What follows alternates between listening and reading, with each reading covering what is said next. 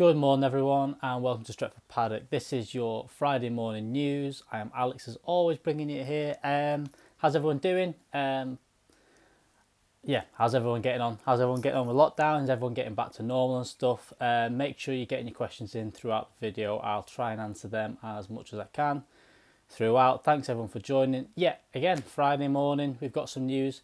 Strange, I'm not going to talk about Paul Pogba today, um, which is a bit of a difference, but Instead, we are talking about this man, about Philippe Coutinho. Uh, apparently, United have been offered him. This is a report by ESPN. Um, this is a strange one. This is, you know, this one's kind of been rumbling around the past 12, 18 months now. It looks like Barcelona definitely want to get rid of him. Uh, room in the in the article, it's uh, they've got they have a massive wage bill, and I think the article said that only Ter Stegen, Messi, and I believe it was um, Frenkie De Jong. They're the only players that aren't up for sale. I think they need to clear out. They need to get everything go. They get to kind of do this rebuild because I think they're all preparing for. They're preparing to transition away from this the Messi Suarez era, and then the the Xavi and Iniesta era is kind of coming to an end now. So I think they're trying to transition away from that and they need to get off the wage bill. And Coutinho is one of the ones that they thought was going to take over uh, and take over the mantle, but that hasn't really worked out for them. You know, he's been off and on loan to Bayern Munich, and it's not really worked from there either. So they're kind of stuck with him at the moment, and they're, uh, by the looks of things, offering him all over the place. It's been picked up by a couple of the local places as well, and saying that I think Leicester City are one of the teams that are looking at him, but I don't see them. I think they're going to want to try and get as much as possible for him and try and get you know they paid 110 million for the man. So they're going to want as much as possible and I think United are one of the clubs that they know have that kind of money around.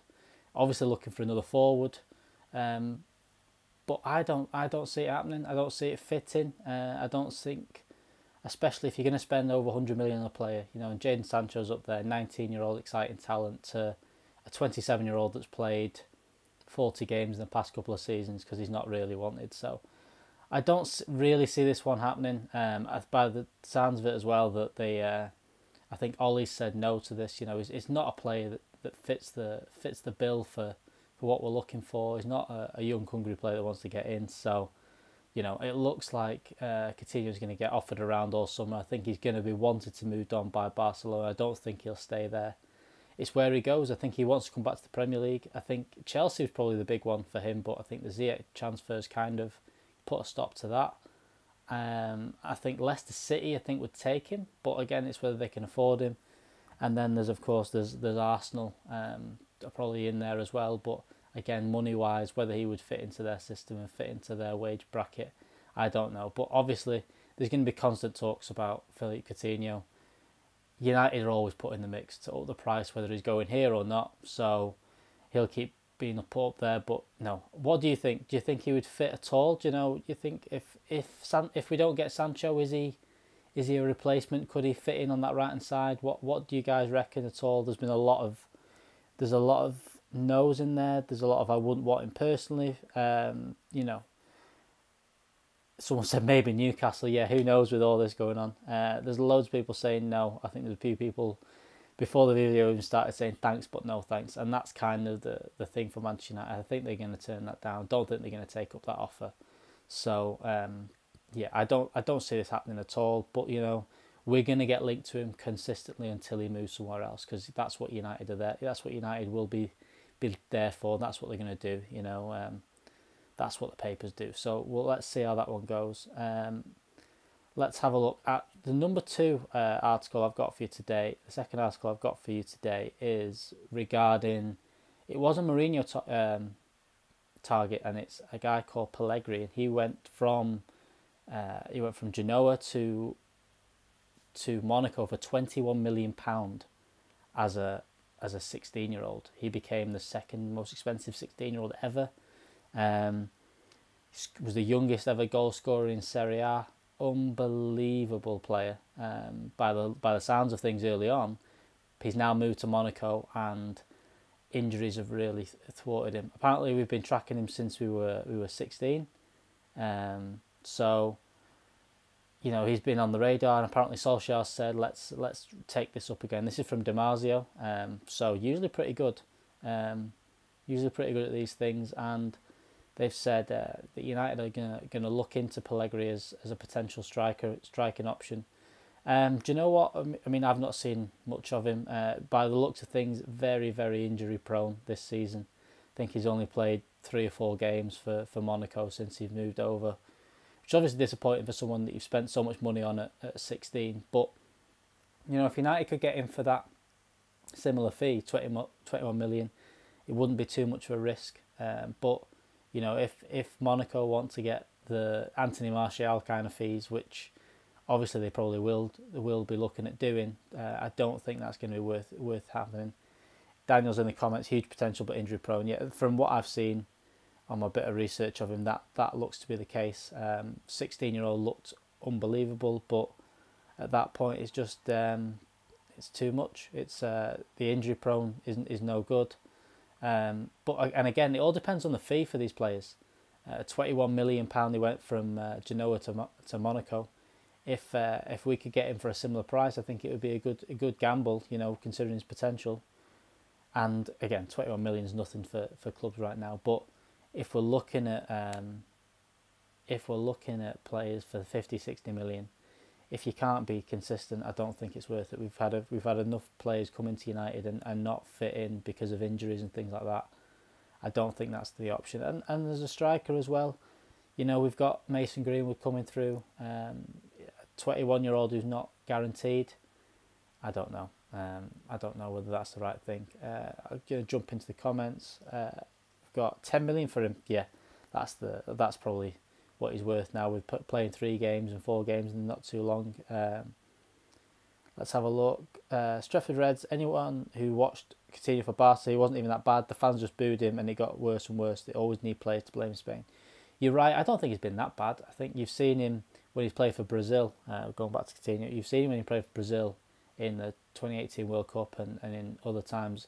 He still looked sharp, he still looked very good he's one of those players that I think needs to fit into a system. I don't think he's going to be.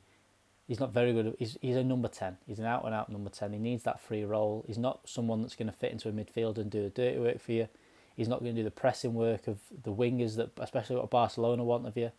So, I just don't think he's fit into their the system since they've got him. They kind of got him, and you know, when you've got Messi in that team who kind of floats and does whatever he wants, you can't have any more players doing that. So, um, that's that's the problem for Coutinho. Um, you know, I'm he won't. He was a Liverpool player. I'm not too. I'm not feeling too sorry for him. Um, but yeah, this Pellegrini interest. Um, you know, obviously they've done a very good scouting report on him. So um, let's let's see how that um, that plays out in the next few weeks. Maybe as an option. I don't think they'd be looking to pay more than the 20, 20 million pound mark that that they came in for uh, a while ago. So let's see. Let's see how that progresses. Let's see if there's any more links in the next few weeks, and whether it is an actual, whether it is an option in the next few weeks. Um, the final one, final bit of news is the kind of the forgotten trophy this season. There's been a lot of talk so far about, you know, Champions League and Europa League returning. Obviously, the Premier League restart's been set for the 17th of June, but this morning we got some news about the FA Cup. FA Cup is scheduled to return on the 27th of June, which means the the quarterfinals are getting played. We're playing Norwich says away, but who knows where they've not confirmed where those games are going to get played or anything along those lines. They've just said that it's going to come back with the final date looking to be August 1st. You know, this is an important one for, for United, um, especially and for Solskjaer. Um, for as much as, you know, the the actual the FA Cup doesn't really hold as much as it used to do, and you know it doesn't get us into the Champions League, which is obviously what we want. The FA Cup is still, still silverware, and it's still something that these young players that we've had come through, it would be great to see them lift a trophy. So I, I'm happy that they've uh, I'm happy that they've done that. I'm happy that they've kind of brought that and brought it back to the forefront because it kind of seemed like everyone was talking about these other trophies and making sure Europe got played and making sure the leagues got finished, but no one's mentioned the FA Cup and and not just for United but for the teams like Norwich and Newcastle and, and the smaller teams down there and even even Leicester City and, and, and you know, Leicester and Chelsea are still in there, and then we've got I think City are in there, and, and Arsenal and Sheffield United are in there. You know, everyone is is interested in this, and everyone has a. I, I want to get a trophy in the bag exactly. Um, but buzzing that the doubles back on the cards from Tom. Yeah, I'm I'm exactly the same. I, I'm I'm hoping we get them games played. You know, as you know, and we we get to a, a semi final and a final. That would be be unbelievable for Manchester United. You know, um, the FA Cup, like I said, it, was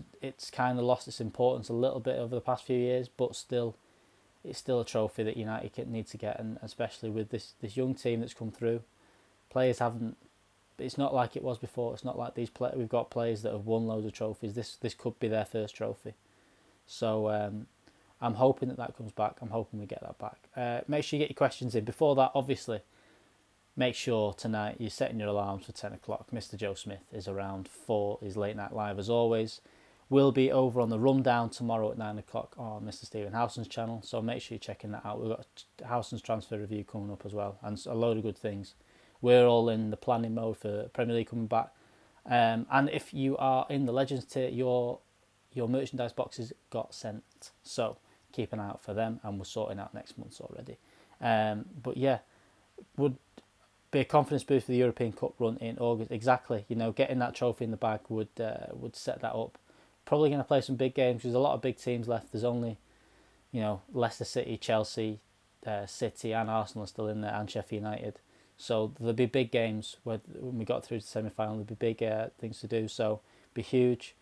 Uh, let's see what else we've got in there. If we can kick on from where we left, adding Pogba and Rashford, we could quite easily get top three or four with two trophies yeah, I mean, we're three points behind Chelsea. Chelsea were in a bit of free fall, but who knows how this reset's going to kind of do for people.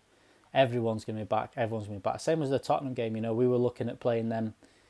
Yes, we we lost Rashford and Pogba, but they had no players. They've now got a fully fit squad back, so that game becomes a little bit better. I think we definitely should be favourites for that game, but you know, same time that that reset completely and that start again is it means that means that how it's going to affect teams you don't know. Uh, Chelsea, Chelsea, who knows what they're going to do? They probably were thankful for the for the stoppage in terms of their momentum. You know, they were on a bit of a slippery slope, so for them to kind of reset and get going, it'll probably help them out. Same as Leicester City. Leicester City were in a little bit of a free fall. We're eight points behind them, which isn't impossible with uh, with the games that we've got remaining. So who knows? But yeah, glad that the FA Cup's looking like it's coming back. Glad that and obviously the Premier League coming back. We are in full planning mode to make sure we've got watch alongs and everything ready for you. So uh, keep an eye out for that. Make sure you like this video. Make sure you subscribe to the channel if you're new. And that'll be it for me today. Um, again, like I said, Joe Smith at 10 o'clock tonight. will be on Mr. Stephen Howson's channel for the rundown.